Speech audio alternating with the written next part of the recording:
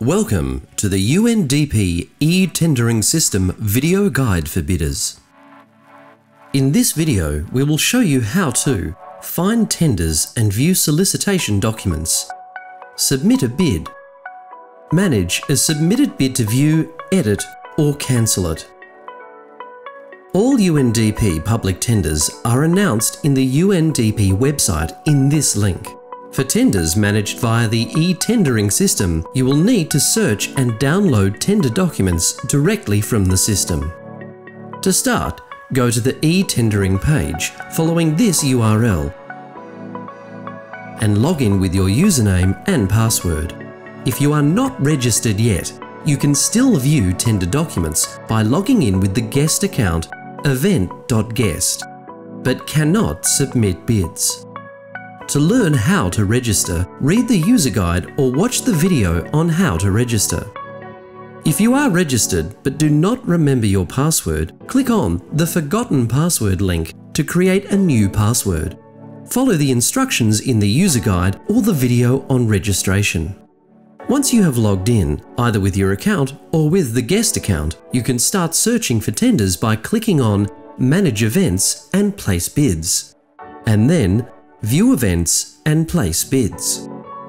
You can search for tenders using different filter criteria. For example, you can search for tenders issued by a specific UNDP country office by clicking on the loop button and selecting a country from the list. Or you can search by the event ID, which is usually provided in the tender notice. You can also search by event name. Once you have selected your filters, Click on Search to show search results at the bottom of the screen. Once you have found the tender you are interested in, click on the Event ID hyperlink to open it.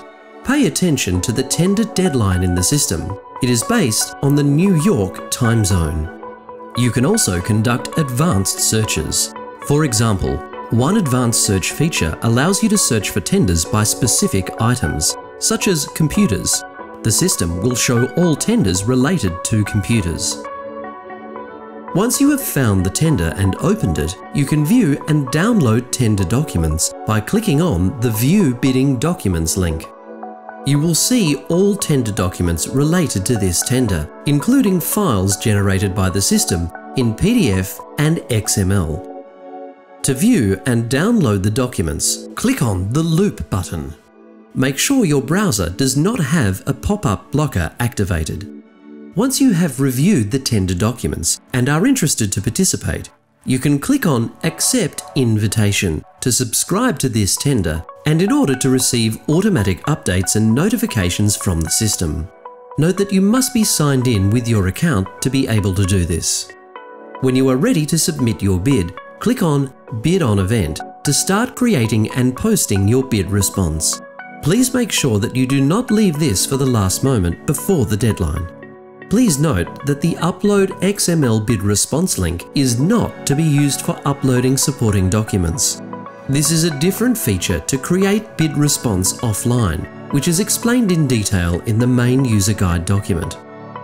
How to upload supporting documents is explained further in this video. The bid response comprises of three main parts answers to the system bid, factors or questions, unit prices to the line items, and uploading supporting documents. The tender might have a number of questions called bid factors, which the bidder has to respond to. They might be yes or no answers, free text, numeric, or selecting from a list of available choices. Questions marked with a star must be answered. Additionally, when a question is marked by a folder and a red star, it means that a response is mandatory and you must answer the question with an ideal response. Enter the unit price for each of the required items. Follow the instructions in the tender documents. For example, for request for proposals, you must enter the prices in the system as one and upload the financial proposal as a password protected document. Upload the required supporting documents by clicking on View, Add General Comments and Attachments. Before uploading files on e-tendering, note that 1. File names cannot exceed 60 characters. 2. File names and the description of files cannot have special characters. Only letters from the English alphabet are accepted. Click on Upload to start the upload process. Browse through the files and click on Upload once you have selected the file you want to upload. Click on Add New Attachment to upload a new file. Always check instructions in the tender document before uploading attachments. There are usually restrictions on what type of files you will be allowed to upload. For example, to simplify the evaluation process for reviewers, most tenders request that documents are submitted in PDF format and that individual files are consolidated into zip folders. You must read and carefully follow the instructions in the tender documents.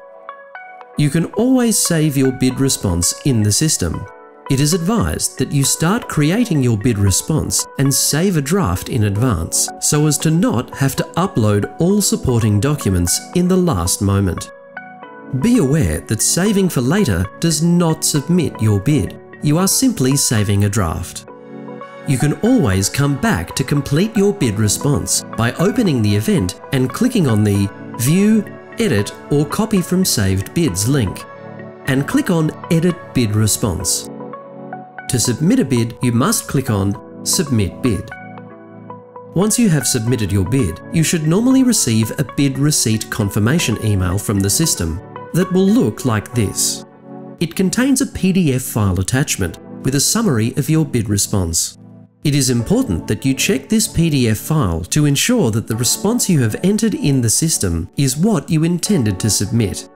In particular, check the list of files uploading as part of your bid in the Bid Attachments part of the PDF bid file. This shows a list of all the files uploaded with your bid. Check and make sure you have successfully uploaded all supporting documents as intended. You can always check the status of your bid directly from the system. Go to the My Bid activity link from your main menu and click on the Event ID hyperlink. Then click on the View, Edit, Copy from Saved Bids. In the next screen, click on the View link, which will open your posted bid in view mode. Pay attention to the status of your bid. To have a bid successfully submitted, the status of your bid must show as posted. Other statuses, like saved or cancelled, indicate that your bid is not submitted. To edit a bid response, go to the Event Details page and click on the View, Edit or Copy from Saved Bids hyperlink. If editing of the bid response is allowed, the Edit Bid Response link will be active. Click on it to withdraw your submitted bid and start editing it. Once you have made the necessary changes, you must click on the Submit Bid button again in order to repost your bid. If you click on Save for later, you have not posted your bid, and your originally posted bid is also withdrawn, and therefore you will not have a bid submitted in the system. Always click on Submit Bid after you have edited it. If editing of the bid response is not allowed, the Edit Bid Response link will not be active. To amend your bid, first you must withdraw the original posted bid by cancelling it in the system. Navigate from View, Edit or Copy from Saved Bids and click on Cancel. After you have cancelled your bid, the system allows you to create a new bid response. You can use the copy function to copy the bid response you cancelled and then make the necessary amendments. Once you have made the necessary changes, you must click on the Submit Bid button again in order to repost your bid. If you click on Save for later, you have not posted your bid, and your originally posted bid is also withdrawn, and therefore you will not have a bid submitted in the system. Always click on Submit Bid after you have edited it. If you want to withdraw your bid, you can do so directly in the system. Navigate from View edit or copy from saved bids, and click on Cancel. Then click Yes to confirm your bid withdrawal. There may be several amendments made to the event during the solicitation period. These amendments might be related to changes in deadline, uploading clarifications, or amendments to tender documents and so forth. If a bid is amended, a new event version will be created in the system. In most cases, bids posted to the older version will remain in posted status, but it is important that the bidder checks that their bid response corresponds with the requirements of the newest event version. When significant changes are made to the event, such as edits to mandatory bid factors or line items, the status of a previously posted bid will be changed to cancelled and you will have to submit a new bid response. In this case, the system will send a bid cancellation notification to the email associated with your bidder account.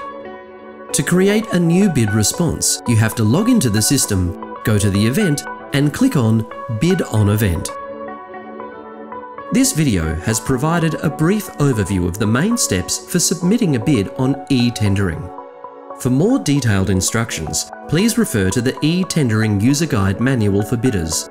Go to the UNDP procurement notice page, procurement-notices.undp.org and click on more information for bidders on the bottom left hand side of the page.